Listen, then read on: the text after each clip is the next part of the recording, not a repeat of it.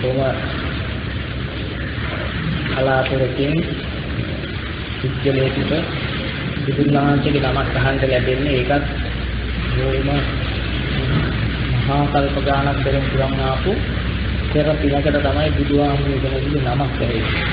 ඒ නම ඇහිලා කල්ප ගණන් ඒ නම ඇහිලා ඇහිලා ඇහිලා ඒ නම පුරුදු වෙලා එනකොට තමයි බුදුන් වහන්සේ කෙනෙක් ගැන තොරතුරු දැනගන්න ලැබෙන්නේ. එහෙම තොරතුරු දැනගෙන කල්ප ගණන් ගියාම තමයි බුදුන් වහන්සේ කෙනෙක් කියපු ධර්මය ඇහෙන්නේ. එහෙමත් ධර්මයේ ඇහිලා කල්ප ගණන් ගියාම තමයි ධර්මය ගැන පොඩි පැහැදීමක් එන්නේ. ධර්මය ගැන පැහැදිලිම ඇවිල්ලා කල්ප ගණනාවක් ගත වුණාට පස්සේ තමයි බුදුන් වහන්සේ කෙනෙකුගේ ධර්මය ගැන හොයන්නට ටිකක් පහළ වෙන්නේ. ඒ හොයන්නට පහළ වූ සිතත් මහා කල්ප ගණන් පරණ වුණාට පස්සේ තමයි ධර්මයේ හැසිරෙන්නට කැමැත්ත එන්නේ. ඒ කැමැත්ත කල්පාන්තර ගානක් ගිහිල්ලා තමයි ඒ කැමැත්තේ ඉන්නකොට ධර්මය අහන්නට සුදුසුකම වශයෙන් ලැබෙන්නේ. ඒක තමයි මේ අදිෂ්ඨ වෙන්නේ. ඉතින් අපි උත්සාහ කරොත් මට දැනෙන විදිහට නම් චතුරාර්ය සත්‍ය තමයි අමාරුම අවබෝධ කරගන්න. මොකද චතුරාර්ය සත්‍ය අවබෝධනුත් එක සැරේ අවබෝධ කරගන්න ඕන ජීවිතේම දුක නිදහස්. අපි මේ චතුරාර්ය සත්‍ය ගැන පාඩම් කරපු එක. අපිට ඇත්තටම චතුරාර්ය සත්‍ය අවබෝධ වෙන්නේ මම දකින ඒකත් අවබෝධ වෙන්නේ අර ධර්මය අහන්න දෙන්න කල්පනා ගන්න ගිහිල්ලා ඒ අහන අය දෙනක අතර. එහෙමයි අර වැලි පිටක් වෙන්නේ. ඉතින් මම හිතන්නේ ඒ අය වෙන්නට පුළුවන් අපි බොහොම අවංක වුණොත් අපි තේරුම් ගන්නට ඕන ලෝකේ දුක කියලා එකක් තියෙනවා. දුක ගැන නොකියන ආගමක් හෝ දුක ගැන නොකියන ශාස්ත්‍රවරයෙක් හෝ දුක ගැන නොදන්න කුජලයක් මේ ලෝකෙ උපදින්නේ නැහැ. නිගණ්ඨනාථ පුත්තකින් ඉඳලා සංජය දෙල්ලට්ට පුත්ත මක්කලේ ගෝසාවල අජිත දේශකම්බලීලා ඊළඟට සියලුම ඍෂිවරු ඍෂිවරු කියලා කියන්නේ යම් දෙයකට දක්ෂ වූ ඒ සියලු දෙනා දුක හඳුනනවා. දුක කියලා දන්නවා. ඒ දුකට ඒකට කවුරුත් විරුද්ධයි. ඕනම ආගමිකයෙක් දුක හඳුනනවා. එතකොට එහෙමනම් අපි මේ මට්ටමේ අපි හිතුවොත් දුක හඳුනනවා කියලා. අපි ඒගොල්ලන් හඳුනන දුක විතර අපි ඉන්නේ මෙහා වෙනසක් වෙලා නැහැ. දුක කියලා කියන්නේ ඒකත් කිය මේ ලෝකෙ ඉන්න එක දුකයි. මේ ලෝකෙ ඉන්න එක දුකයි. ලෝකෙ ඉන්න එක දුක නිසා ඒගොල්ලන් මේ ලෝකෙන් අයින් වෙනවා. ඒක තමයි ඒගොල්ලන්ගේ හැටි. මේ ලෝකෙ ඉන්නකොට දුක ඉන්න එක දුකයි කියලා අවබෝධ කරගත්ත ඇන්නේ කැලේට ගියා. එම නිසා දේපල පරිහරණය දුකයි කියලා හිතාගෙන හිටපු අය දේපල අතහැරියා. හරිද? ලෝකෙ ඉන්න එක දුකයි දේපල පරිහරණය දුකයි කියලා දැක්කාම නිගණ්ඨනාථ පුද්ගල වගේ කැලේට ගිහින් දේ තුන්වෙනි වටේ කට්ටියකුත් හැදුවා. ජීවිතේ වැඩක් නැහැ නේ ඉඳලා මේ දුක විඳින්නට බැහැ කියලා දැකපු අය දෙවිනසා ගත්තා. ඒ දුක නිසායි. හොඳට බලන්න නැද්ද කියලා මේ අය ඔක්කොම එක ගොඩේ. එහෙම ඉන්න අය අතර තමයි සිදුහත් දෝෂතානන් වහන්සේ අර පස්සක දවසත් එක්ක වනගත වෙලා අවුරුදු 5යි මාස 3යි සතියක් විතර විශාල කාලයක් ගත කරලා ඒගොල්ලන් ගියාට පස්සේ ඒ සියුම් ඥානයෙන් දැක්කේ ඒ ලෝකේ දුක. හැබැයි අර අය දකින්න දුක නෙවෙයි. ඒ අය දකින්න දුක කොච්චර කලක් දැක්කත් අවබෝධ නොවන එකක්. ඒකට සාක්ෂිය තමයි පස්සක දවසට පියද්දි දුක අවබෝධ වෙලා එවෙලම ඵලයට ආවා. බුදුහාමුදුරු කියන දුක දැක්කොත් ඵලය දෙන්න මහ වෙලාවක් යන්නේ නැහැ. ඒ නිසා අපි හොඳට තේරුම් ගන්න ඕනේ බුදුරජාණන් වහන්සේ දේශනා කරපු හැම ධර්ම සංලක්ෂණ අඟුලිමාලලාට කියපුවා මාසෙන් දෙකකින් ඒ අය රහත් වෙනවා. අරිහත් ඵලයට මාවන. අපි දැන් දුක අහලා කොච්චර කල්ලෙන් වෙලා හිතන්නේ. අපි කියන දුක නෙවෙයි සැබෑවට චතුරාර්ය සත්‍ය අවබෝධ වෙන්න තියෙන්නේ. ඒක ඊට වඩා ගම්බීර පණියන කිව්වේ. ඒක මේ මත පිටින් පේන දුක නෙවෙයි. මත පිටින් පේන දුක කවුරුත් දන්නේ ඒක කොච්චර කලක් දුකයි දුකයි කියලා දැක්කත් වැඩක් නැහැ. දුකයි කියලා දැක්කම තව කලකිරෙනවා කියන්නේ. එතකොට එපා වීමක්. ඒ එපා වීම සසරට නැවත කලකිරුණු නිසා නැවත වෙන ක්‍රමයකට යන ක්‍රමයක්. එහෙම හොඳට බලන්න දැන් ලෝකේ සියල්ල දුකයි කියලා බුදුහාමුදුරුවෝ පෙන්නනවා. සබ්බේ සංඛාරා පරමා දුක්ඛ. අපි සංඛාරා පරමා දුක්ඛ කියන එක නෙමෙයි මේ තේරුම් ගන්න තියෙන්නේ. සංඛාරයයි දුක. බුදුහාමුදුරුවෝ දේශනා කරන සංඛාරය අපිට තේරිලා නැහැ තාම. නමුත් අපි බැලුවොත් නේද? හොඳටම සුද්ධෝදන රජු දිහාකට බලන්න රාජ කරනවා. ඕ මොනවද නැත්තේ? මොන සැපද නැත්තේ? ඉතින් ඒතර දුක මොකද කියන්නේ? ඉතින් මේ දුක්ඛ සත්‍ය අවබෝධ වෙලා නෙවෙයි එතකොට සක්කුතරගාමී මේ ඊටත් වඩා පරිණියකද? ඊටත් පරිණිය වෙලා නම් ගාන වෙලා මහා භාරක් රටපාලනය කරනවා. ඊට පස්සේ තමයි ගිලන්න අවස්ථාවේ අරිහත් වෙන්නේ. ඒක මොන මොනවද නැති? ඕනනම් අන්තිම මොහොතේ මරණ දුක පිළිගන්නේ. වෙන දුකක් නෑ යා. එතකොට ඕ අස්සේ දුක තිබිලා. ඒක තමයි මේ එන්නේ බුදුම දානහන්. එන්නන්නේ ඕක අස්සේ තියෙන දුකයි. එහෙනම් අපි පොඩ්ඩක් බුද්ධිමත් වෙන්න ඕන. අනේ කියනවා වාලේ ධර්ම නොවැසි. බුදුහාමුදුරුවෝ දේශනා කරන පරිනිබ්බාන සූත්‍රයේ කියන්නා කියු පමණින් පිළිනුගතිය. සහ ආමුදු කෙනෙක් කියු පමණින් පිළිනුගතිය. දිහියෙක් ධර්ම කතිකෙක් කියු පමණින් පිළිනුගතිය. බුදුහාමුදුරුවෝ කිව්වා කියලා තව කෙනෙක් කිව්වට පිළිනුගතිය. තමන් බුද්ධිමත් වෙන්න සාධන. මේකට මම බුද්ධියට මේක කතා කරේ. හිතන්නේ පටාකාරට නම් දුක තිබ්බා. ওই සම්මුතිය කියන අය දැකපු දුක තිබුණා. එයාට තිබුණේ මේ සම්මුතිය ආසාවල් නැති වීම. ආසාවල් පුතා රැක ගන්න ආසාව. පටාකාර. තනිය රැක ගන්න ආසාව. ඒව ඉෂ්ට නොවන දුක තිබ්බා. තේරුණානේ? මේ ආසාව ඒ බැලුවාම ඒ නැතිවීම නිසා හටගත්ත දුක. දැන් අපි කියන සම්මුතිය නම් පටාචාරයට දුක තිබිලා දුකෙන් නිදහස් වුණ දුක අවබෝධය. නමුත් ඇතුළේ දුක නෙවෙයි මම මේ කතා කරන්නේ පිටි. ඒතකොට පටාචාර දිහා අපිට බලන්න ඇයි ඒක නම් දුක තිබිලා ඒ දුක අස් කරන් රහත් වුණා. ඒතකොට මම අහන්නේ සුද්ධෝතම රජු කොහොමද මේ අබමල් රේණුකින් ගෑවිලා දුකක් තිබ්බද? හිතන්න පුළුවන්. ඉතින් ඊළඟට බිම්බිසාර රජුන්ට මොන දුකක් තිබුණා? මොනවද තිබුණේ? සෝවාන් වෙන්නේ අතපය බලන්න ඉස්සර. ඊට හුඟක් ඉස්සර. ඒකවල දුක කොහෙද තිබිලා තියෙන්නේ? දැසි දස්ස වටේ අන්තප්පුර මොනවද තිබුණේ නැත්තේ. එතකොට මං අහන්නේ එයාට මොකද තිබුණේ? එහෙනම් අපි ටිකක් බුද්ධිමත් වෙනවා මේක ඇතුළේ යන රටාවක් නෙවෙයි. අපිට අපි හිතන එක නෙවෙයි දුක. අපි දැන් දුක නසන්න කියලා කරන්නේ අපිට දෙයක් නැති එක දුකයි. දැන් අපි දුකෙන් අයින් වෙන්න නේ කවුරුත් උත්සාහ කරලා තියෙන මෙච්චර කල් ඉතුරු දවස් ඉඳලා දුකෙන් නිදහස් වීමම තමයි. හොඳට බලන්න නැද්ද? අපි පාරේනකොට අලුත් මෝස්තරයක් තියෙනවා සෙලෙක්ට් එකේ. අපි මොකද කරන්නේ දුකයි මට නැති. මොකක්ද අපි කරලා තියෙන්නේ? මහානස වල ධර්මානුකූලව හම්බ කරපු මුදලෙන් සෙලෙක්ට් දෙකක් ගන්න. දැන් දුක නිකහ. ඇත්තටම නිදහස්. ඒ දුක නෑ. හරිද වැඩේ? කියනක හොඳ තේරුම් ගන්න ඕන චතුරාර්ය සත්‍ය ගැන ගැටලු නැති වෙන්න මම අද මාතෘකාව පටන් ගත්තේ. නොකිය වේ යටි චතුරාර්ය සත්‍ය කමක් නැහැ. හැබැයි පැටලෙන්නේ නැතුව යන්න පුළුවන් අදින්පත්. අවුරුද්දක් අමාරු වෙන්නේ ඊළඟට එනවා අපිට මේ සෙරෙප්පු දෙක මඩ ගෑවෙනකොට දෙකයි එතකොට මේ අරන් කියන සැපත් අපි කල්ලිය දුකක් තමයි. ගෙවුනම අර පැත්තට ගෙවුනොත් අපිට සැපද? දුකයි. එතන ලැජ්ජාව නැත්නම් ඉරිකදා ලැජ්ජා. ඒ ලැජ්ජාවට හිරියොතක් දෙන්නේ එළිය දාලා යනකොට බයයි. ඒ බයද මේ නිවන් දකින්න තියෙන ලැජ්ජකම නෑ ඒ වගේ. ඒකට පොඩ්ඩක් අපි ගැටලු නැති කරගන්න ඕන මෙතන. දැන් එහෙනම් අපි දුක තිබ්බා දුක හඳුනගත්තා. සම්මුතියේ දුක නිදහස් වෙලක් තියෙනවා. දැන් නිවන් දැනගන්න. ගියක් නැති කෙනාට ගේ හදා ගන්නකන් දුකයි. එයාට හරිය දුක තියෙනවා. එයා දන්න දුක මේක දැන් එයාට සත්‍යයි. දැන් මොකද එයා කරන්නේ?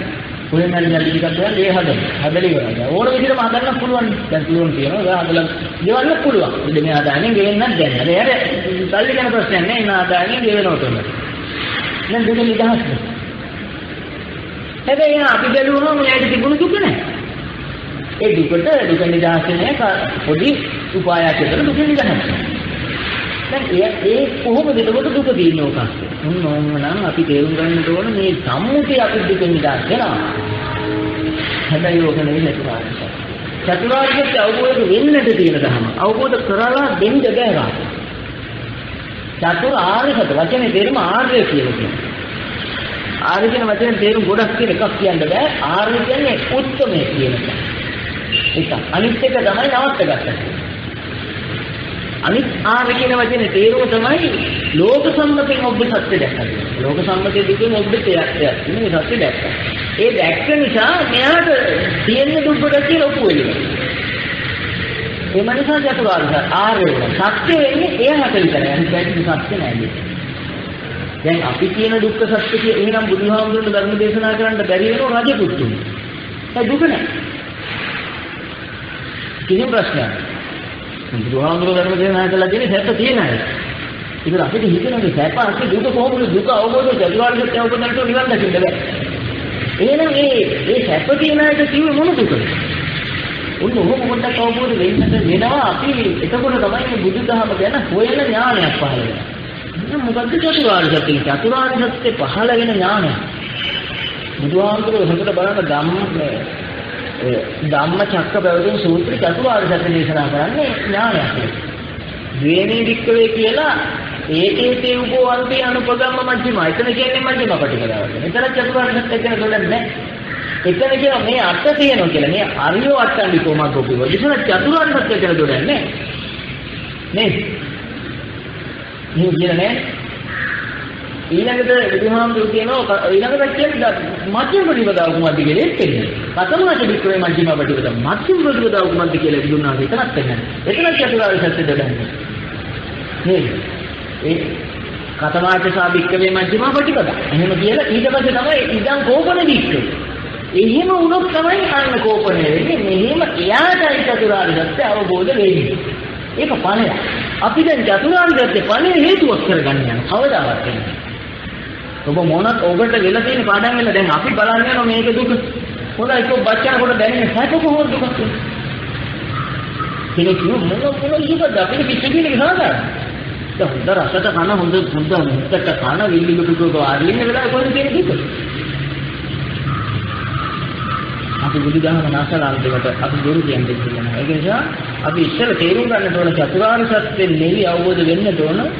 හොඳට මතක තියාගන්න බුදුහාමුදුරුවෝ කිව්ව වචනේ අපිට තේරෙන්න ඕන. තේරුම් දාට අපි ඒක පිහිටි දාට චතුරාර්ය සත්‍ය අපිට ඉතින් වෙන්නේ. ඒක මම දිවේ මට පුළුවන් නම් මං අද එන්නේ නැහැ රුවන් විසයි. එහෙනම් ඊයේ එන්නේ. මම මට එන්න සිද්ධ වුණේ පරිසර පිටිපස්ස. ඒ මොකද චතුරාර්ය සත්‍ය කියන ඥාන මට්ටමක්. ඒක මට වචනේ විස්තර කරන්න අමාරුයි. හැබැයි මම යන මඟ කියන්න උත්සාහ කරනවා. මට කොළඹ දින්න මෙයා නවත්තන්න බෑ. යන හැටි කියන්න පුළුවන්. යනකොට නවතින ඉතර කොළඹද. හරිද? මොන උපමාව මට ඊට වඩා උපමා මම දන්නේ නැහැ. දැන් මම කියන මෙහෙම වෙන මෙහෙම මගසලකුණු ඔස්සේ යන්න. ඒ සලකුණු දිගේ ගියාම දැන් යන සලකුණු දිගේ අපි දැන් කොළඹක් ගැන හොයන්නේ නැහැ. කොළඹ ගැන මොකුත් හොයන්න එපා. බුදුහාමුදුරු කිව්වේ මේ චතුරාර්ය සත්‍ය ගැන. කතමාති වික්‍රේ මජ්ජිම. මජ්ජිම ප්‍රතිපදාව ගන්න. මජ්ජිම ප්‍රතිපදාව පිහිටා. පිහිටියම ඉඳන් කෝපණය. අන්න එක්කම තමයි චතුරාර්ය මජ්ජිම ප්‍රතිපදාවේ ඉන්නකොට පිහිටන දැන චතුරාර්ය සත්‍ය. තේරෙනවද කියන්නේ දැන් එහෙම යනකොට අපි ගියේ මෙන්න මෙතෙන්දී ඉක්කඩුව ඉක්කඩුව මේ වගේ හෝටල් තියෙනවා මේ වගේ මුංග හම්බ වෙනවා ඔහොම ලකුණු කියන ඊළඟට හම්බ වෙන්නේ අම්බලන්ගොල්ල සීනි මෝදර හම්බේ යා වෙන්නේ මූදි දේවාලයක් තියෙනවා දැන් හරි කලකුණා දැන් අපි කලකුණු වල බල පාරේ ගියා විතරයි සැපේ ඊළඟට හම්බ වෙනවා අම්බලන්ගොල්ල එතන මෙහෙමයි මෙහෙම හන්දියක් තියෙනවා ඊළඟට අහු වෙන්නේ හුංගල්ල ඊළඟට විඤ්ඤාත ගියාම කලුතර අපි කරේ ඒ සලකුණු දිගේ ගියේ ඊළඟට කලුතරින් පස්සේ වාද්දුව ඊළඟට පානදුව ඊළඟට මොරටුව ඊළඟට රත්මලාන මෙහෙම යනවා දැන් අපි බල බල යනවා. ඒ සලකුණ හරිනේ. අපි යන්නේ කලකුණ දිගේ. ඊළඟට ඊළඟට මේ බම්බල පිටිය ඊළඟට කොල්ලු පිටිය කියලා යනකොට අපි සලකුණ දිගේ ගියේ. ඊළඟට දුම්රිස්ථානයේ දුම්රිස්ථානයේ ඉතල දෙන්න දෙන්න පුළුවන්. එතන එහාට දෙන්නලා නැහැ. අන්න එතෙන්ද තමයි කියන්නේ සත්‍යනාර්ථය. ඒ වගේ එකක්. එතකොට දැන් ඒතේතේ උබෝ අන්තේ අනුපගම්ම කියලා පටන් අරන් බුදුහාමුදුරු කියනවා මජ්ක්‍ධිමා ප්‍රතිපදාව කියලා. එන මොකද්ද මජ්ක්‍ධිම ප්‍රතිපදාව කියලා කියන ඉවරල කියනවා. ඉදං කෝපන දික්කවේ දුක්ඛම් හරිය සත්‍යං. අන්නයයිට විතරයි දුක කියලා සත්‍යක් තියෙන්නේ එතකොට දුක්ඛ චතුරාර්ය සත්‍ය තියෙන්නේ ඥානයක්. සල්ලි වලට දෙන්නත් බෑ බලෙන් ගන්නත් බෑ. උත්සාහ කරා කියලා එහෙම ලැබෙන්නේ නැහැ. හැම උත්සාහය හැම උත්සාහ කරන ඔක්කොටම හම්බෙලා. ඕන භාවනාවක් කරන කෙනෙකුට හම්බෙලා. එහෙම ලැබෙන්නේ නැහැ. පිළිගත්තට හම්බෙන්නේ. මේ උදෙසා අපි අවංක වෙන්නට ඕන. ඉස්සෙල්ලා තේරුම් ගන්නට ඕන මේ චතුරාර්ය සත්‍ය පාඩම් කළ යුතු ධර්මයක් නෙවෙයි. චතුරාර්ය සත්‍ය අවබෝධ වෙනකන් අපි දෙන්නේ දුක. එහෙනම් අපි දැන් මෙහෙම කියන මම කිව්වොත් රජ කෙනෙක් දුක් විඳිනවා කියලා ඔප්පු කරන්න පුළුවන් වෙන්නට ඕන. රජ්ජුරුවන්ට පෙන්වන්න බෑ මට පෙන්වන්න. මේකෙන් කොහොම කියන්නේ සියුම් පැත්ත. කවුරු හරි ගිහිල්ලා කිව්වොත් කුටිසාති රජු හොටකට කොණ්ඩ දැන් ඉන්නව ලස්සන. මුන්ට කිව්වර ප්‍රාණපත්ති රෝඩ් ලියලාපු අකුරු ටිකක් නෙන්නේ. අපේ රාජ්‍ය බුද්ධ රත්නේ පහළ වුණා, ධම්ම රත්නේ පහළ වුණා, සංඝ රත්නේ පහළ වුණා. ඒකේ මෙහෙම කියන සම්පත්තිය හතක් නෙවෙයි. නේද? ඒකේ ඌ ගමන රාජ්‍ය වලට කොහොමද නෙමෙයි යන්නේ කොහොමද? මොන මොන දුකක් තිබුණේ? අන්න හුරුව මතක තියාගන්න. අන්න එහෙනම් අපිටත් හුරුව ඕනේ. ඒ හුරුව කියන්නේ කල්ප ගණන් කියන එක නොවෙන්නට පුළුවන්. අද ඒ නාවනම් අපිට අද මෙතන නෑ. මං කිව්වනේ ඉස්සෙල්ලා. අහන් ආපු ඇටි මම මුලින් සාකච්ඡා පටන් ගත්තේ ඒ විදිහට කියලා. එතකොට අපි ඒකේ කොටසක නේ ඉන්නේ. ඒ කොටස තුළ ඉන්නකොට වොන් එකපාරට තෙනෙයි පුප්පුසාගේ රජ්ජිරු දී හුරුවෙන්. එහෙනම් අපිත් මේ ඇවිල්ලා ඉන්න හුරුවෙන් කියලා ඔබට අවබෝධ වෙනවා. ඒක තමයි පළවෙනි ඥානම. ඒක ඥාන. ඒකට තමයි ආදීනව ඥානය කියලා කියන්නේ. අනුමය ඥාන. මතක තියාගන්න. මේ අනුමය ඥාන. දැන් තියෙනවා අපිට අනුමය ඥානය බුදුහාමුදුරුවෝ කිව් විදියට අපි තාම ඉඳලා නැහැ. හිටියනම් අපිට චතුරාර්ය සත්‍ය අවබෝධය අවබෝධ නම් අපි අපි ගාල් තියෙන්නේමයි. මොකද්ද මෛත්‍රී කියන්නේ? අපේ අයිති දේවල් මේ ලෝකේ තියෙන්න බෑ. දැන් අපි අයිති නැහැ කියලා කියන්නේ දිට්ඨිය. අයිති නැහැ කියන දිට්ඨිය අපි පැවතිලා නැහැ කියන්නේ. අරක දෙකයි අපේ ලෝකේ තියෙන්නේ එක්ක ශාස්ත්‍රක දෘෂ්ටි අනිත් එක උච්ඡේද දෘෂ්ටි. මගේ නෙවෙයි කිව් ගමන් නෙවෙයි කියන පැත්ත අල්ලගන්න. මගේ කියන එක එක පැත්තක් මගේ නොවේ කියන එක එක පැත්තක්. නොවේ කියන එකේ දිගේ යන්න පුළුවන් අසඤ්ඤතල. මගේ කියන එක දිගේ යන්න පුළුවන් හතරක්. ඒක තමයි දැන් අපි කියන්නට ඕන මේක මගේ මගේ කියලා නොඇලෙන්න ඕන මගේ නොවේ කියන එකට පන්සු නොගිය. ඔන්න අද තමයි මම මේ ප්‍රකාශ කරන්නේ ඔබ ඉස්සරහා. හොඳට අවබෝධ කරගන්න මේක තේරුම් ගන්න ටිකක් අපහසුයි මුත්තට මහන්නේ කියලා. දැන් මේ තියෙන ටෙලිෆෝන් එක අයිති කර නොගෙන ඉන්න ඕනේ. හැබැයි මගේ නෙවි කියන්න බෑ. මගේ කියන දෘෂ්ටියෙන් මිදෙන්න මගේ නෙවි කියන්න බෑ. මගේ නෙවි කිව්වොත් මගේ මම නෙවි කියන දෘෂ්ටියට වැටෙනවා. තේරෙන්නේ? මගේ කිව්වොත් මගේ කියන දෘෂ්ටි කොහොමද තියෙන්නේ? මගේ නෙවි කිව්වොත් මගේ නෙවි කියන දෘෂ්ටිය ලෝකයේ අල්ලනවා. එතකොට අසඤ්ඤකත්වයක් යනවා. සංඥාවක් තියෙනවා. එයා ලෝකෙට ලෝකෙ තදින් අත්හැරුණු අන්තයක් තියෙනවා. යටපත් කරපු අන්තයක් තියෙනවා. එම නිසා නැවත සසරේ ඉන්නේ. එහෙනම් කොහොමද මේක වෙන්නේ කියන එකයි මේ බුද්ධ එහෙම මට කියලා දෙන්න මමද දක්ෂ. මට පුළුවන් කිතුල් හකුරු කැලලක් පෙන්වන්න මෙන්න කිතුල් හකුරු මේක මේ රසයි මෙන්න මෙහෙම කනකොට මෙහෙම දියවැලයි කියලා කියන්න. තාම කෑවෙත් නෑ දියවැල දැනෙන්නෙත් නෑ. අපි හිතින් මවන් ඉන්න එකන්නේ දැනට අපේ තියෙන්නේ. කිතුල් හකුරු කෑවා වගේ දැනෙනවා දියවැල වගේ දැනෙනවා. හැබැයි වෙලා කොයි වෙලාවකද දැනෙන්නේ? කනකොට නේ. එහෙනම් මේ මධ්‍යමා පටිපදා කියන එක දාපු දාට චතුරාර්ය සත්‍ය හොයනවා. බුදුහාමුදුරුවෝ එක සූත්‍රයක කියනවා මහණෙනි නිදානයක් හොයන කෙනෙක් මහාන් කියලා මහාන් කියලා නිදානේ ආරන් යනවා නිදානේ හම්බුනාට එන සතුට නොමවටි මහණෙනි චතුරාර්ය සත්‍ය හොයනවා. දුක නෑ ලෝකෙම ඉන්නේ. යා ලෝකෙ ඉන්නේ. සුද්ධෝදන රජුව රට පාලනය කරන්නේ අනාගාමී වෙලා. ඒ ඒ සැපක හිටි.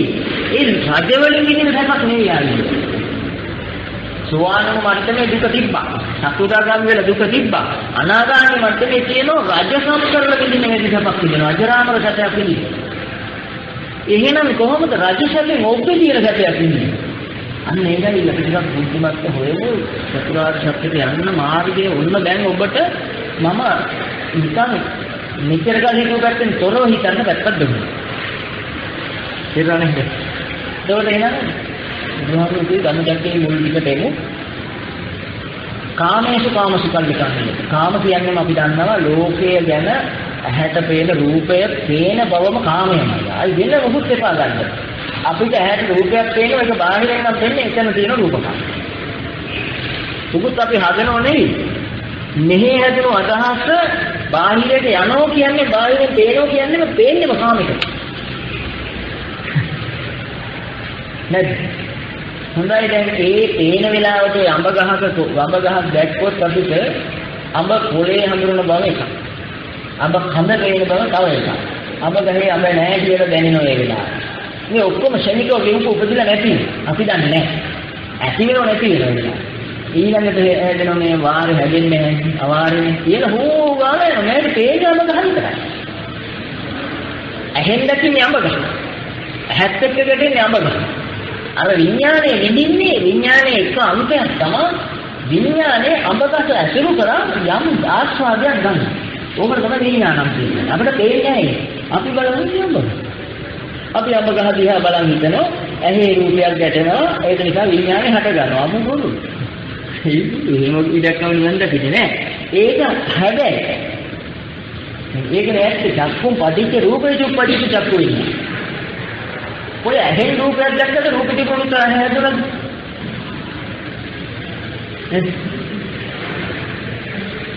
දැන් මේ දිහා බලන් ඉන්නේ දික්කිය රූපයක් නේ. දැන් බලන් කියන එකත් තේරුණාද? එහෙනම් මොකද වෙන්නේ? මෙහි සංයෝගය ඇදිලා නැති නිසා හැදෙන්නේ. ඒ ඇදිලා දිහා පේන්නේ. ඒක චක්කුන් කියනකොට සංයෝගයක් කියන්නේ සංයෝජනීය ධර්මයක්. බුදුහාමුදුරුවෝ ඒක පොඩක් අභිධර්මයේ මම ගත්තේ සංයෝජනීය ධර්ම කියලා දෙයක් තියෙනවා. ඇහැට රූප බලනකොට ඇදිලාමයි තියෙන්නේ. එකකම් පේන්නේ. මට ඔප්පු කරන්න බැහැ නෑ මේක කොහොම ඔප්පු කරන්නේ? බුදුදහම බුදුහාමුදුරුවෝ උතරින් යට කියන්නේ. අභිධර්ම කියනවා බුදුහාමුදුරුවෝ ඇස අනිදර්ශනයි. ඇහැ පේන්නේ ඇහැ බලන්නත් බෑ කියලා. අපිට ඒක අපි අපිට පිස්සු හිතෙන්නේ බුදුහාමුදුරුවෝ පිස්සු කියලා. ඇයි ඇහැ කන්නාඩි ළඟ ගිහිල්ලා බලනවා ඇහැ පේන්නේ. චක්කු අනිදර්ශන. කෙලින්ම කියන අපිට ඇහැ නෑ. ඇහැක් නෑ මහන්නේ. දුඹලට පේන මස් ඇහැ සතර මහා ධාතු. ඒක මහ භූත රූප. චත්තාරෝච මහ භූතාන චතුන්නංක මහ භූතාන උපාදාය රූප. ඕකනේ තියෙන්නේ. සතර මහා ධාතු නිසා පෙනෙන සතර මහා ධාතු නිසා පවතින. ඒකනේ තියෙන්නේ මස්සස කියලා. ඒක සතර මහා ධාතු තියෙන හැ. ඒ ඇහැ නෙවෙයි. නේ. දැන් අපි රූප පේන වලට කළු ඉංග්‍රීසියාවක් තියෙයි කියලා දන්නවද? සුදු ඉංග්‍රීසියාවක් තියෙයි කියලා දන්නවද? නෑ. දන්නේ නෑනේ. එහෙනම් ඇහැට නම් දෙන්නේ ඇහත් වෙන්නේ. දැන් ඔබ දුවත අපේ විද්‍යාත්මක පිළිස් ඉන්නවනේ ඕන තරම් බොරු කරන්න නේද? දක්ෂ පිළිසක්. අපි කියන්නේ හරි ගැඹීර පිළිසක් නේ කට්ටිය. ටයි දාලා හොඳට සර් නැත්නම් වාඩි වෙන්නේ. ඒක නෙවෙයි ඒ කට්ටියට අහුවෙන්නේ නැහැ නේද? ඒක කිව්වේ බුදුහාමුදුරු කියන ධර්මයේ සංසාරේ ගේන්නම ඕන. නැතුව අහුවෙන්නේ නැහැ. ඇස කියන එක අපිට හැදිලාමයි තියෙන්නේ. එතන හැදිලා ඉවරයි. හැදිච්ච එකද කියන්නේ ආයතන. ආයතන වෙලමයි තියෙන්නේ. අපි හිතනද පේනවා කියලා. අපි ගහ දිහා බලන්න මෙහි අපිට නොදැනුණා. ඒකේ තියෙන තරංගවල ශක්තියකින් මෙහි හැදුවා. අපි මෙහෙම බලන් යන ඔක්කොම පේන්නේ නැහැ. හොඳට බලන්න දැන් අවබෝධයෙන් බලන්න මෙහෙම බලන් යන ඔක්කොම පේන්නේ එකක් පේනවා. පේනවා කියන්නේ ඒක තමයි සංයෝජනය වෙලා තියෙන්නේ. මෙහි හැදුණු නිසා පේන්නේ. ඒ ඇසට ඕක ගැටෙනවා. ඕකට කියන රූපේ කියලා. මෙහි හැදුනා. ඕකට තමයි කාම රූප කියන්නේ. එහෙනම් කාමයේ තියෙන විදියක් නැහැ. එහෙම වෙන්නේ නැහැ. මෙහි කාම වෙලමයි තියෙන්නේ. දැන් ටිකක් එපා වුණා නේද ඉතින් වන්දන ටියුම් කට්ටලික ඕගොල්ලෝ මේක කියන්න බෑ කියන්න බෑ නේ ධර්මය අපි අල්ලගන්නත් එපා දැන් ඇහැ තියෙනවා ඇහැට රූප පේනවා ඇහැට රූප පේනකොටම අපිට එක්කෝ ඒ ගස ගැන හැඟීමක් මම දාලා පැත්තේ යනවා අභිදාට දැක්ක අතහැරලා තේරෙන්නේ නැහැ ඒක වන්දන මොතේරෙන්නේ නැහැ හැබැයි මේක නිවැරදි නොවේ නිවැරදි වෙන්න උදව් වෙනවා දැන් හික්කඩේ වේගත් හික්කඩුව කොළඹ නෙවෙයි. කොළඹ නිවැරදි වෙන්නේ යනකම්. කොල්ල පිටියක් කොළඹ නෙවෙයි. ඒක කොළඹට ආදර්ශයක් නෙවෙයි. ඒ නිසා මාධ්‍යන් ධර්මයේ එළියෙන්නේ. කොල්ල රූපයක් කියන එළිය. ඇස කියන එක සතර මහා ධාතුන්ගෙන් හැදෙන. එළියේ තියෙන රූපේ සතර මහා ධාතුන්ගෙන්. අපිට එළියේ තියෙන අබදහස්ත සතර මහා ධාතු. ඉතින් කොහොමද මේ සත්තාරෝච මහා භූතාන චතුන්නංච රූපං චතුන්නංච මහා භූතං උපදය රූපං. කොහොමද වෙන්නේ? අපිට අඹම පේන තැනක අඹම දකින්න අඹ කියලා මෙහි සංඥාව ආව ඒ සංඥාවෙන් ওই ගහ ඇතිවෙනව නේද අපි අවංකව හිතන්නේ? මේ තේරෙනවනේ ඒක අපට හැදින ඉවර ආයතන කියන්නේ ඕක. එතකොට ආයතනම් පටිලාභෝ අයං චිති කික්කේක. අපිට ඉපදිලා මේවරයි යඹට. ඔය ඉපදීම දුකක් වෙන්නේ කොහොමද? නොතනයි කියන ගැටලු. යාකිසි දුක් කොතන දුක තියෙනවා. බාහිර නැත්තම් දුක තියෙනවද මේ? කොහොමද ඔක දුක වෙන්නේ? මොන්නේ නේද ප්‍රශ්නේ. අපි එතෙන් දෙමු තව ඉස්සර.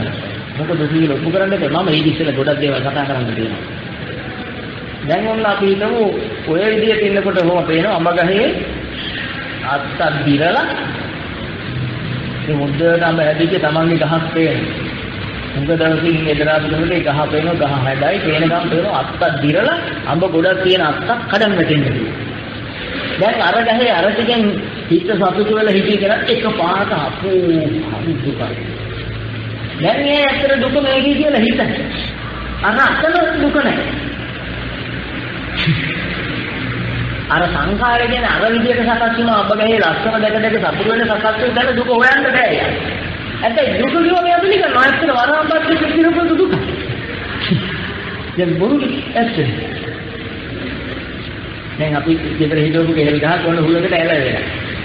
කැන වැටිගෙන එනවා. අයියෝ මේ කැන මෝරලවත් වැටුණා නම් මොකද කියන දැන් දුක. දැන් අපිට දුක අවබෝධ නැද්ද? අවබෝධ.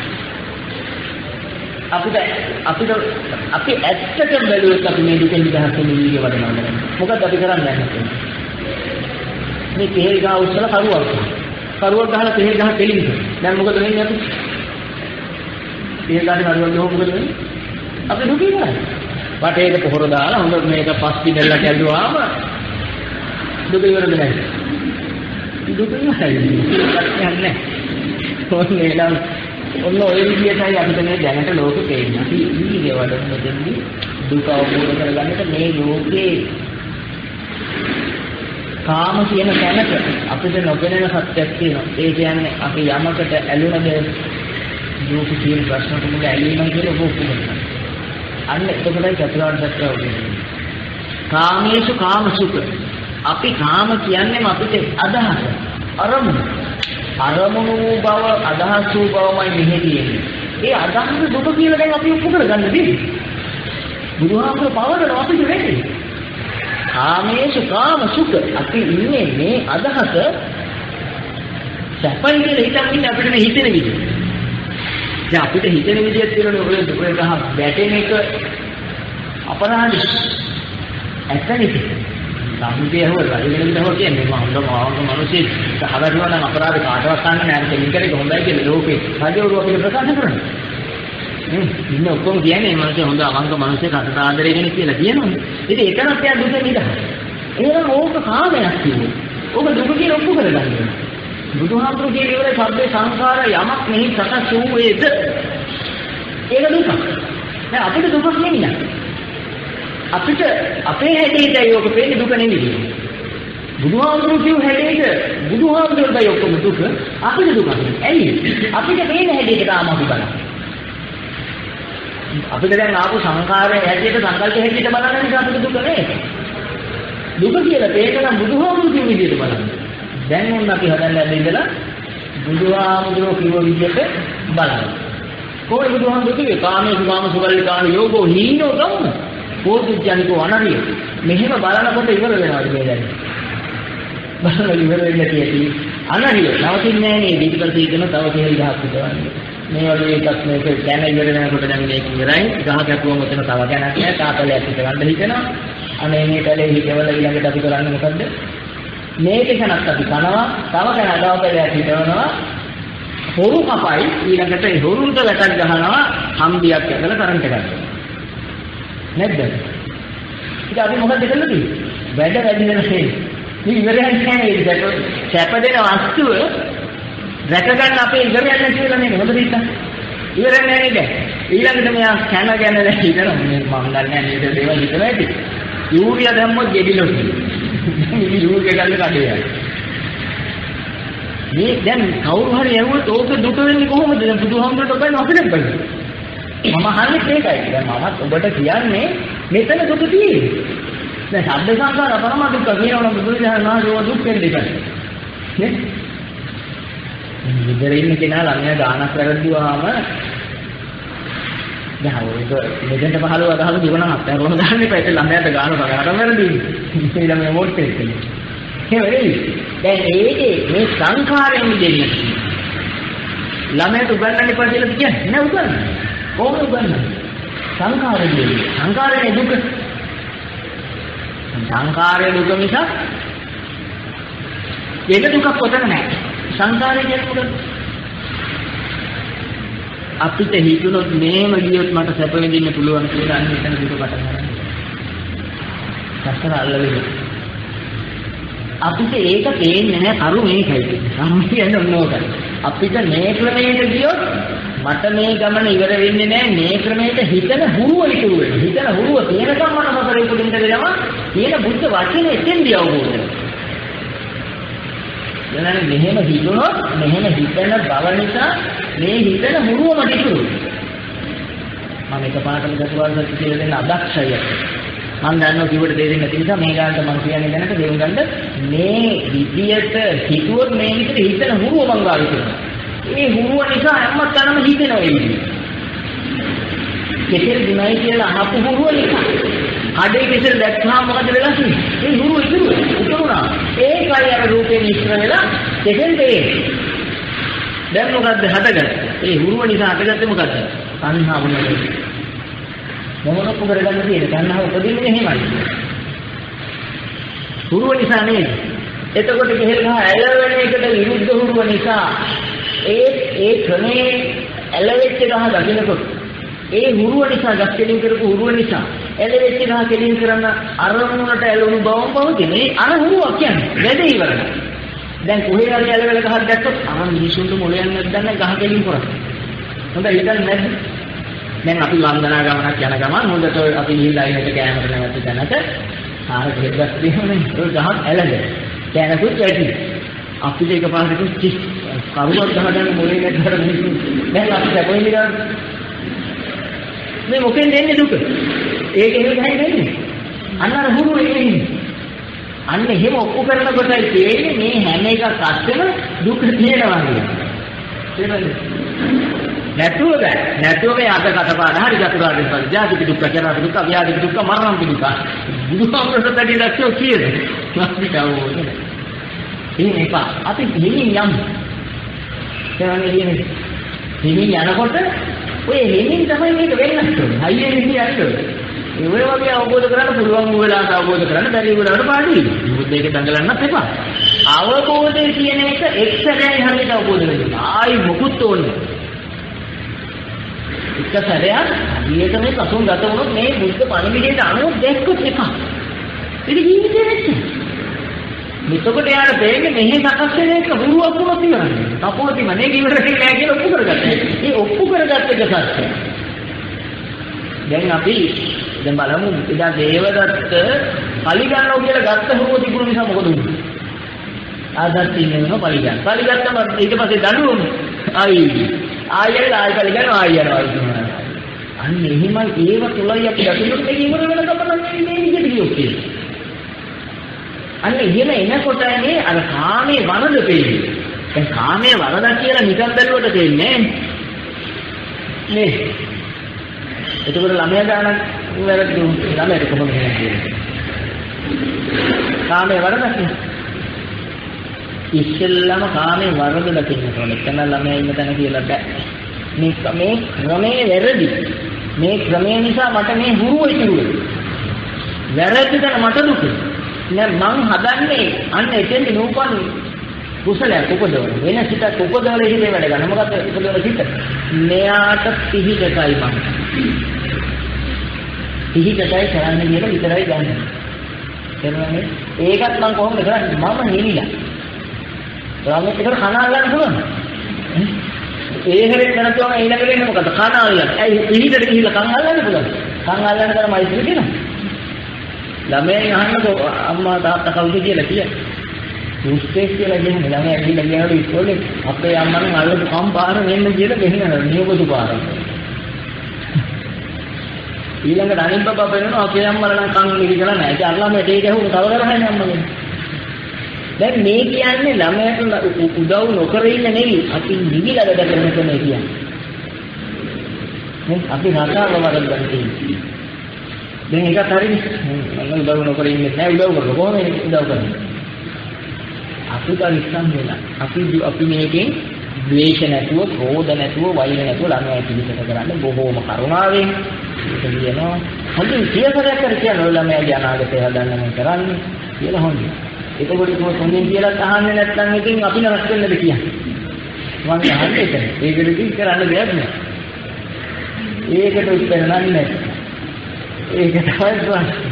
ඒකයි කිව්වේ මේ ලෝකෙ ඔක්කොම දුක් කිව්වේ ඒකයි අපි දෙන්න වෙලා තියෙන්නේ අන්තෝ ජක බහිජක තැනකේ කියලා කිව්වේ. දැන් අපි හිතමු අපේ අම්මා කෙනෙක් ලෙඩ වුණා. ලෙඩ වුණාම අපි නිකන් දෙයක් කරන්නේ අනිත් සහෝදර වෙන්නේ නැහැ කිව්වම දුකද නැද්ද? ඒගොල්ලන් දැක්කම අන්තිම මොහොතේ මුන් එන්නේ කියලා එන්නේ නැද්ද? දැන් එයාගේ ප්‍රශ්නේ තියෙන්නේ අපි අර සංකල්ප ගත්ත එකද ප්‍රශ්නේ. ආ ඔය අද ආවේ අද ආවේ කියන්නේ දැන් පේනවනේ ඉස්සෙල්ලා හිතපු එක දැනුත් පේන්නේ. එතකොට ඉස්සෙල්ලා හිතද්දි මේ රටාව හොඳ නැහැ කියලා හිතන රටාවෙන් ඉඳලා හිතන අද කියලා තියෙන්නේ. අපිට කොන්න ඕක තමයි දුක දුක සංකාර වෙනවා කියන්නේ අතීත හුරුවක්මයි සංකාර කියන්නේ මොකද සංකාර? කාය සංකාර, වචී සංකාර, මනෝ සංකාර. ඇහැට රූප පෙනේ කිසිම දෙයක් ඇහැට රූපයක් නෙකෙන්නේ ඇත්තට කිසිම ප්‍රශ්නයක් නැහැ නේද ඇහැට රූපයක් තියෙනවා. මොකක් ප්‍රශ්නයක් නැහැ. දැන් කන්නාඩි ඉස්සලා තමන් ඉන්න කිසි ප්‍රශ්නයක් නැහැ. ඒ හේව නැහැ ලකි හතක් තියෙනවා මොකක් ප්‍රශ්නයක් නැහැ. අපි දන්නවා හේව නැහැ පවුඩර් ගන්න ඒකද මේකද? කොහෙන් පවුඩර් ගන්න? ලස්සනේ නේද කන්නාඩි ගන්න අනේ අර මුණ පොඩ්ඩක් ඇදයි. නෑ නේ ගන්න එහෙනම් දැන් අපිට කියන්නේ කන්නාඩියේ පවුඩර් ගන්න නැහැ කියන්නේ බාහිරේ හදන්න යන්නේ නැහැ. ඒක කොහෙද හදාගන්න? මෙහෙම හදාගත්තේ. දැන් ඔය හිත බලාගෙන හිත හදාගන්න. ඔක විඥාන හිතේ අර හොයලා කියලා හිතන්න. ඇහැ රූප දෙකම මෙහෙ කියන හේව නැහැ. අපි දැන් මොකද්ද හදාගන්නේ? මෙහෙනේ.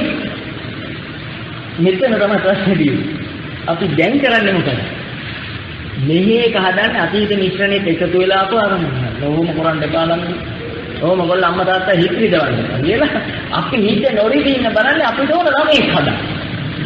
ඉතින් ජීවිතේ නිවන් දැක්ක පුළුවන්. ආකාත්තට ඕන පුතෙක් වුණා නම් සිදුවත් කුමාරයාට අදටත් අපිට බුදුවරේ. ඈ සුළුමවට ඕන පුතෙක් වුණා නම් අදටත් බුදුවරෙක් නෑ. පස්සේ සාස්ත්‍ර කියපු බමුණෝ කියපු රජෙක් වුණා නම් අද බුදුවරෙක් නෑ. නේද? ඒවනේ ඇත්ත. එහෙනම් අපි තේරුම් ගන්න ඕන මේක ලෝකයට අසාධාරණයි. දුක නිදහස. මේක මේ ඒ ඒ ක්‍රමයට හිතන එක නිසා පේන හැටි. අපි මේ ක්‍රමයට හිතන නිසා අපිටත් පේන හැටි.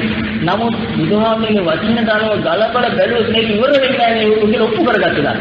මේ උරුම දිගට යනවා නේද කියලා ඔප්පු කරගත්ත දාට කාමේ වරද පේන්න ගන්න විලාස.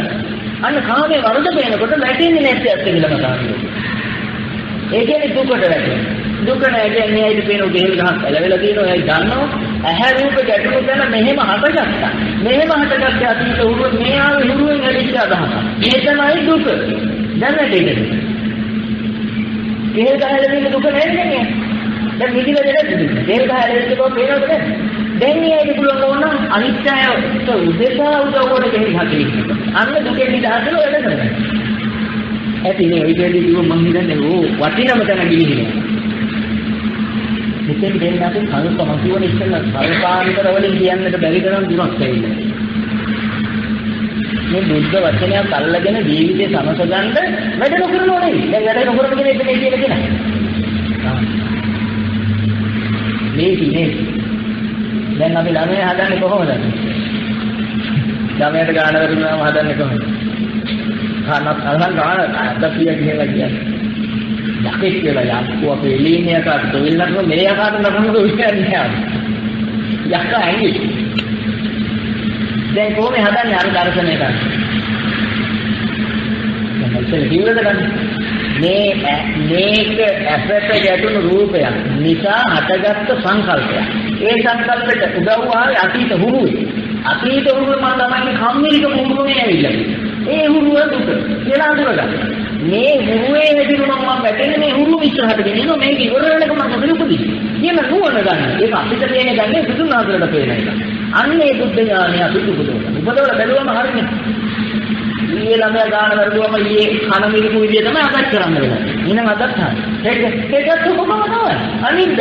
අනිද්දත් ඔහු ඉවරුනේ නෑ කියන්නේ සංකීර්ණ නෑ කියන්නේ. මේ සංයෝජනයේ තියෙන සංගතිකත ළමයින්ගේ කම්මිරික මේක අපායයි දැන් අපි ඒක දැකලා ඒක දුක විදියට දැකලා මේ සංකල්පයේ මේ සංකාරයේ වරද දැකලා සකස් වූ හැටි වරද දැකලා ඒකට උදව් අතීත කර්ම වරද දකිනකොට නුවණ පහළ වෙනවා මෙතන වරදක් කියලා ඥානයක් ඒක. අන්න ඒකට තමයි සම්මර්ථන ඥානය කියන්නේ. අර දැන් ඔබ අහන් ඉන්නේ මේකට තමයි කියන්නේ අනුමය ඥානය, අනුමානයි. ඒක ගල්පල බලනකොට පේනවා ඇත්ත. අන්න චතුරාර්ය සත්‍යයේ හිවණල්ලක් හරි ඇටෙන්න ගත්තා ඇඟට. ලේසි නැති ගමනක් නේ ආවේ දැන් වන්න බොහොම සතුටක් කියන මේ රටාව ඉවර වෙන්නේ නැහැ කියන අවබෝධයෙන් මේකට කියන සම්පර්ක ඥානෙ මෙතන තියෙන හේතුඵල ධර්මයක්මයි මොකද හේතුඵලය අතීත හේතුවෙන් වර්තමාන රූප ගැටීමේ හේතුවෙන් හටගත්ත ඵලයයි විඥානයවත් තියෙන්නේ දැන් අපි ඊළඟට බලනවා ළමයාට දාන හදන්න උදව් කරන්න ඕනේ දෙයයි නා සාධාරණ දෙන නිසා. දැන් මොකද වෙලා තියෙන්නේ? දුකෙන් නිදහස් වෙලා උදව් කරනවා. දැන් කොහොමද හොඳින් හදන්නේ? දෙවෙනි සැරේ මොකද කරන්නේ? ඒත් එහෙම. තුන්වෙනි සැරේ ඒත් එහෙම. හතරවෙනි සැරේ ඒත් එහෙම. පස්වෙනි සැරේ යනකොට මේ කරුසින් මල්ලි. හයවෙනි සැරේ අපි වෙනද කියන්නේ? ආ දුකට වැටෙන්නේ අපායට වැටෙන්නේ නෑ අර 10 තමයි ජරිත් එහෙම 12 වෙනි සැරේත් එහෙම අපෙන් අහන්නේ ඔය 101 වෙනි සැරේත් එහෙම 108 වෙනි සැරේත් එහෙම දැන් මොකද වෙලා තියෙන්නේ අර හුරුවෙන් මේ ආන්න සංසාරෙ දොරන්නේ සංකාරය කියන්නේ අතීත හුරු උදව්වෙන් සකසු දේ දැන් නිරෝධ උනේ ඇත්ත දැක්ක නිසා ඔප්පු කරගත්ත තමන්ට මේක ඉවර වෙන්නේ නැහැ කියලා දැන් මේ නිදහසනේ මොකෙන්ද දුකෙන් නිදහස්. මොකද ඒගොල්ලෝ ඕක කියවමින් මම ඊළඟට මේ ගුරුව නිසා ඉපදුනොත් මට ප්‍රිය විප්‍රයෝග දුක, ලෙඩ රෝග දුක, ජරා මරණ දුක ඔක්කොම එනවා ප්‍රිය සංප්‍රයෝග දුක කියලා. එයාට සිහි වෙනවා බුදුහාමුදුරුවෝ කියපු තෝන දැන් සිහි වෙනකොට පේනවා කාමයමයි වැරදි, සංකල්පයමයි වැරදි කියලා. ඒකට චතුරාර්ය සත්‍ය යන්තම් තේින්න ගන්න. තේරෙකට එයා දන්නවා වැඩි දිව නෑ මගේ ගන්න. අන්න දැන් නම් දුක නැතුව ඉන්න ක්‍රමය වුණා කියලා බුද්ධාලම්බන ප්‍රීතියක දිලා පස්ස පස්වන ප්‍රීතිය. පස්වනක් කියන්නේ. අහන්නේ හොර තේරෙන්නේ පස්පලක් කියන්නේ. ඒ පස්පලම පිළිබඳ අවබෝධයෙන් සතුට වෙනවා. අනේ මට ඇහැටත් මේකයි එන්නේ කනටත් මේකයි නාසයටත් මේකයි කටිනුත් මේකයි ශරීරෙනුත් මේකයි කියලා අර පස් වන. වන කියන්නේ වනේ දාලා කොටනවා කියන්නේ. ක්‍රියාවක් කරනවා වන කියන්නේ. පස් වන මේ අවබෝධයෙන් පස්පලම ගැන බලන්න පුළුවන් වෙනකොට ප්‍රීතියක් වෙනවා. ප්‍රීතිය කිව්වේ සෙහල්ලුවක් වෙනවානේ මට අදින් පස්සේ දෙන්න ඥානය පහළ වුණා. දැන් ඥානය යොදාගෙන මොකද කරන්නේ? කෙලෙස් සුද්ධ කර කර ඉන්නවා සත්‍යදා ගන්නවා. අන්නේ සඳහා ඔබට මේ ධර්ම ඥානය. ආ